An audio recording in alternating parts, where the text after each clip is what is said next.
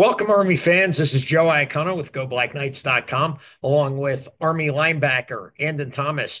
Andon, uh, as I mentioned before you came on camera, you look pretty uh, worn out. You're uh, you're sweaty. You looked like you worked really hard today. Tell me a little bit about practice today. Uh, yeah, it was a pretty long one. I think we were out there for, I don't know, two, a little bit more than two hours, but you know, always got to give the best effort, you know, just working the fundamentals, but it, it was a great practice today. So, You had a uh, a pretty big game against Air Force. Um, you know, you and Caleb both as the inside backers. Chance Keith uh, at the nickel slash Apache position had a big game as well statistically. Uh, did a really good job.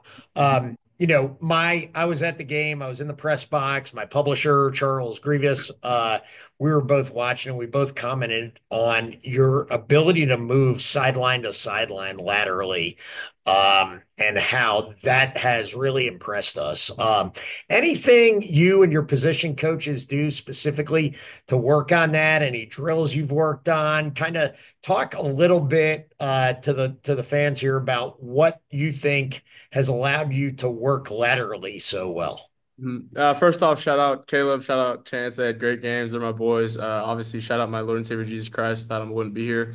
Um, but I mean, you know, we work a lot of drills. Uh, our coach, position coach, is big on like staying lateral, staying out of the trash of like all that's happening in front of us. Um, we obviously have hard practices, so you know we're running a lot. Um, we run a lot of plays every day, so you know just staying out of the trash, working lateral. I mean, we do it in practice, so that's how it translates over to game. Awesome.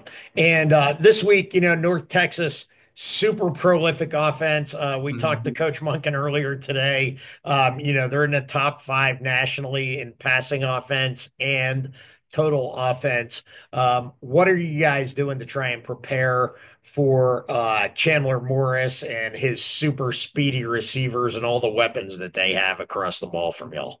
Yes, sir. Obviously, I mean they're really well coached. They got a great offense, great defense, great team. I mean the coaches know what they're doing, so it's gonna be a good challenge for us. Um, but I mean we're not gonna really switch anything up. Just stay with the fundamentals. Um, got to tackle well, got to cover well in space.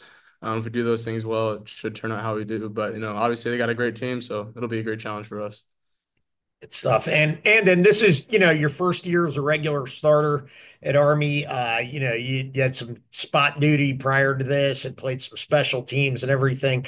Um, but you know, you've you've stepped right into the lineup and done a phenomenal job. Um, who have, you know, obviously your position coaches, but who have been some of your kind of mentors as you've matured and matriculated through the Army program that have really helped you uh, get to the level you're at as a first year starter? Mhm. So obviously, you know, Coach Juice, position coach, does a great job, you know, teaching us. I mean, I wouldn't want to be coached by anyone else.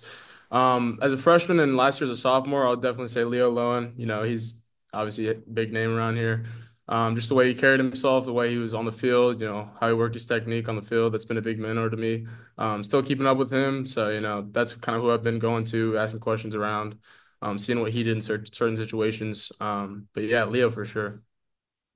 So let me ask you this. This is kind of more of a mindset question. hmm So you guys are 8 and 0 now, and every week you win, right? And I know the goal is to go 1 and 0 every week, but every week you win and you just beat Air Force. And now you're 8 and 0, and you've got two conference games left, North Texas being one of them.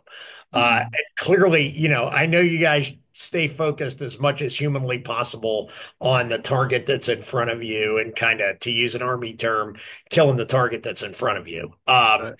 but, you know, with North Texas coming up, you know, you win there, you're 9 and 0. Uh, I haven't watched yet, but the first college football playoff rankings come out tonight, AAC title on the line. Um, how do you guys stay focused? Uh, yeah, that's, that's a great question. Coach Monken, you know, he does a great job spearheading that. He's like, you know, we got to go one and zero every week. We can't keep looking at the playoffs, looking at, you know, the next games ahead. We got to focus on the, the one this week. Um, I mean, obviously, playoffs is a great deal. It means a great deal to us, but, you know, we can't do that without winning this week. So, um, just looking at what's in front of us, you know, focus on the fundamentals, going one and zero every week. So, we just got to keep doing that. Stuff. And, you know, I've been, you know, I'm a old, longtime Army football fan, 93 grad. I've been around forever. Uh, you know, and I've seen pretty decent defensive lines, good you know, uh, Josh McNary was a superstar, ended up in the NFL. Uh, Mhm. there's been a couple of really good defensive lines at Army, but the defensive line I've seen this year with Cody Harris Miller, uh, Kyle Lewis, um, Jake Latour, uh, Tuioti, the list goes on and on and on. As a linebacker, what has that been like for you and for Caleb to know that you guys have the confidence in the guys up front to keep bodies off of you so that you can be free to read your keys and go make plays? Right. I mean, it means a great deal. You know, we have those trust, those guys up front. Shout out them. I mean, they're really in the trenches every play. Uh, I know it's hard up there, but you know, it means a great deal to us knowing we can trust them uh, as linebackers and you know, keep guys off of us and allows us to make plays. Thankfully, just super grateful for them. Um, and they're obviously making plays too. They're not just taking on double teams; they're making plays as well. So shout out those guys. Um, they got to keep you know playing great uh, if we're going to succeed, and I know they will. So proud of those guys. And and then you know, I know as part of the Army culture, the the team goals always come first. They always come before the individual goals. Mhm. Uh, but do you personally have any individual goals for the rest of the season in terms of what you like to accomplish? Uh, honestly, not really. I mean, Okay. no, no personal goals. You know, just focus on the team win. I mean, if somebody's playing well and they start above me, you know, I'll be happy for them. So, whatever helps the team win, honestly. All right. Well, thank you. Uh, so you're a Cal. Uh, have you selected a major yet?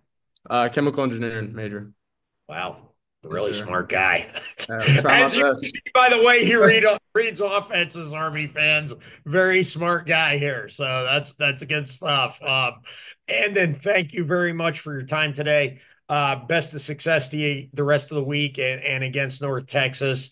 And um, you know, really look forward to seeing what you do the rest of the way, especially uh, you know, not don't want to look ahead. We've got some really big games in between now and the uh, second Commander in Chief's Trophy game, but I know we're all expecting some uh, some big things for that game against the uh, Academy from Maryland. So, uh, ladies and gentlemen, thank you very much, Army fans. It's been Joe Iacono along with Army linebacker Andon Thomas. Go Army, beat Navy.